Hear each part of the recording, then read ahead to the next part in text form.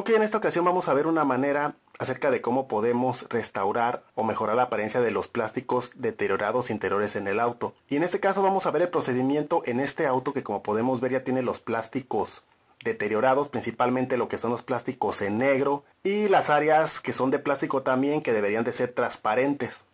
Y como podemos ver en el caso concreto de este auto, ya los plásticos en negro pues ya están muy opacos, ya tienen una apariencia como gris carbón eh, opaca, inclusive se notan hasta, tienen una apariencia como que si estuvieran sucios y es uno de esos casos donde ya no es suficiente con un abrillantador o con un rehidratador de plásticos, ya que están tan deteriorados que con este tipo de productos lo único que pasa es que adquieren una apariencia grasosa, pero en sí no se ven bien por el desgaste que ya tienen y por la pérdida de propiedades en lo que es la superficie de los plásticos. Y en el caso de las áreas, como es esa área donde está la palanca de las velocidades, que debería ser eh, relativamente transparente, pues ya se ve bastante rayada. Entonces, en este video lo que voy a mostrar es una manera acerca de cómo se pueden restaurar los plásticos, en este caso en color negro, y cómo se les puede dar una pulida a las áreas que son transparentes. Entonces, básicamente es lo que se va a mostrar a continuación. Entonces, primero que nada, lo que se tiene que hacer es quitar todas las secciones que queramos restaurar, que queramos pintar en este caso. Y pues ese procedimiento es similar en la mayoría de los autos, y precisamente hay que agarrar una cuña de plástico y empezar a sacarlos con cuidado, eh, quitar los conectores eléctricos si es que los hay. En este caso los conectores eléctricos van a estar principalmente en los switches de las ventanas eléctricas. El área de la consola central pues no tiene conexiones eléctricas, salvo lo que es el, el calentador de cigarros o la toma de corriente. Fuera de eso simplemente eh, quitando las partes con una cuña de plástico. Entonces ese será el primer paso, quitarlos para poder limpiarlos bien y pintarlos afuera. Ese es el primer paso. Entonces como segundo paso, una vez que ya quitamos las piezas, pues es darles una buena limpiada para quitarle los restos de grasa, quitarle los restos de suciedad, los restos de posibles productos que le hayan puesto para brillantarlos.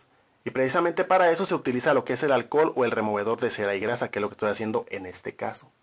Entonces una vez que ya están limpias las piezas, lo que sigue es cubrir esas áreas donde no queremos pintar. En este caso voy a cubrir únicamente las áreas en blanco que están en los controles, principalmente en el Master Switch y en el control del pasajero. Los demás ni siquiera tienen eh, prácticamente nada que debamos cubrir, así es que con unas pequeñas cintas, en este caso cubrí esas áreas para que todo quede listo, ahora sí para empezar a pintar.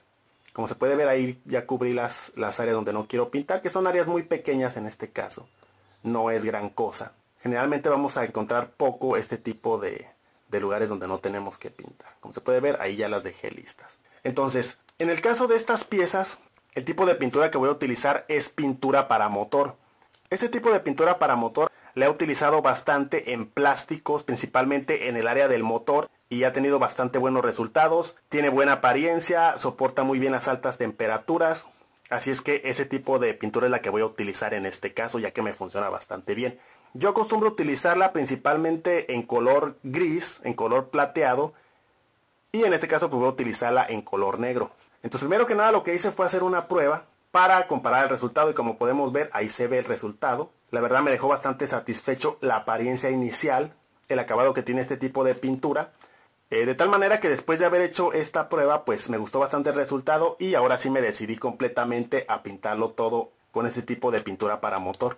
Entonces, siguiendo con el proceso para pintar este tipo de piezas una vez que ya están eh, totalmente limpias, procedí a ponerle dos capas de promotor de adherencia. En este caso utilicé este tipo de promotor de adherencia que es bastante bueno. Y como lo menciono, apliqué dos capas de promotor de adherencia, más o menos 10 minutos entre cada capa. Y dejando pasar más o menos 20 minutos a media hora antes de empezar a aplicar la pintura. Ese es el siguiente paso aplicar lo que es el promotor de adherencia, algo que nos va a ayudar muchísimo a que la pintura se fije y se quede permanente en todos los plásticos que vamos a restaurar. Obviamente la aplicación tiene que ser lo más uniforme posible y tratando de llegar a todas las diferentes áreas, aplicándola desde diferentes ángulos. Entonces una vez que ya pusimos el promotor de adherencia, ahora sí voy a aplicar lo que es la pintura. Aquí está la pintura que utilicé. Es ese tipo de pintura de la marca BHT, que es pintura para motor en este caso en color negro, pero hay otros colores también. Yo he probado este color negro y el color eh, plateado también trabajan bastante bien. Entonces ese es el tipo de pintura que en este caso se utilizó. Entonces después de que pasó media hora de aplicar el promotor de adherencia, empecé a pintar las partes con este tipo de pintura para motor en negro. Y en este caso apliqué más o menos 4 o 5 capas ligeras, tratando de llegar a todas las áreas, volteando las secciones de plástico en diferentes posiciones para pintar desde todos los ángulos y que todas las áreas quedaran lo más uniforme posible. Como lo menciono, más o menos 10 minutos entre cada capa. Ahí las fui volteando en diferentes posiciones, dejando pasar más o menos 10 minutos entre cada capa, poniendo mínimo 4 capas. Ya la última capa pues es simplemente para eh, los detalles finales. Entonces después de pintarlas obviamente se dejan secar un buen rato y en este caso así fue como quedaron. Ahí ya nomás estoy esperando a que se sequen para instalarlas en el auto otra vez.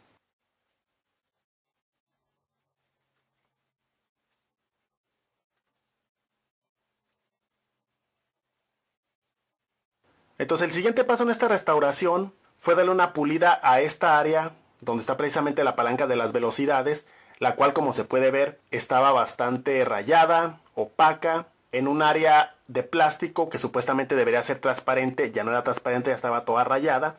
Entonces lo que hice fue proceder a darle una pulida.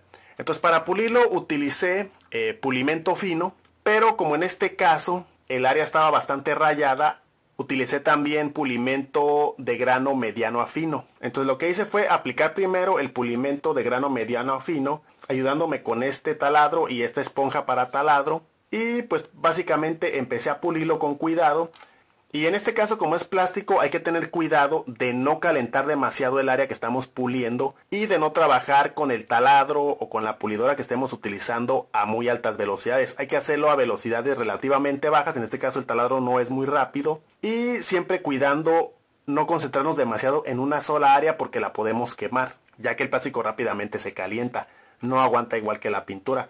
Entonces básicamente fue lo que hice, darle poco a poco ahí una buena pulida. Primero con el pulimento de grano mediano a fino y finalmente con lo que es el pulimento fino. Y finalmente después de darle una buena pulida, procedí a darle una limpiada con alcohol para remover todos los químicos del pulimento que apliqué. Y como paso final apliqué un poquito de cera líquida, en este caso utilicé este tipo de cera sintética líquida, para proteger el área que pulí.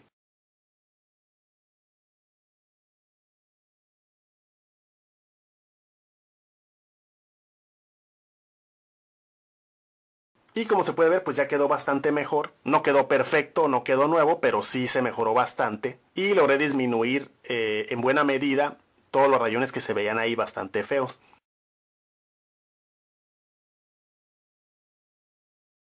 Y ya nada más como paso final, antes de instalar las partes que pinté, lo que hice fue darle una aspirada a las secciones de tela de las puertas para eliminar el exceso de mugre que pudiera tener o de suciedad. Y después de que se secó todo, pues ya procedí a poner ahora sí todas las secciones que se restauraron. Y pues básicamente eso es todo el procedimiento. Entonces, a continuación antes de terminar el video voy a mostrar unas fotos del antes y el después y yo creo que aquí va a ser todo.